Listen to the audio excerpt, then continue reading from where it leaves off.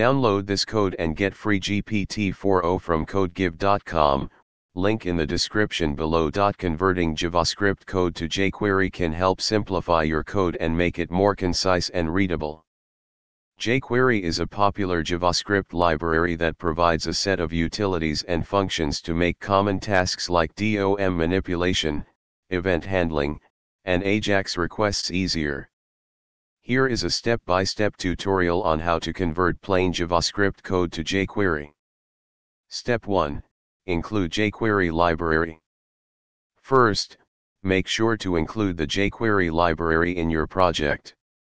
You can do this by adding the following script tag in the head section of your HTML file.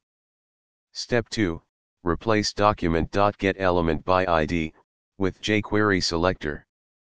Instead of using document.getElement by to select elements in your JavaScript code, you can use jQuery selectors.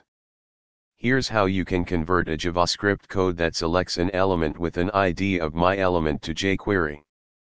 JavaScript jQuery Step 3, replace event listeners with jQuery event handlers. Instead of using add event listener, to attach event listeners in plain JavaScript, you can use jQuery event handlers. Here's how you can convert a JavaScript click event listener to jQuery. JavaScript jQuery Step 4 Use jQuery methods for DOM manipulation. jQuery provides many methods for DOM manipulation that can simplify your code. Here's an example of how you can change the text of an element with ID myElement. JavaScript jQuery By following these steps, you can easily convert your plain JavaScript code to jQuery and take advantage of its features to write cleaner and more efficient code.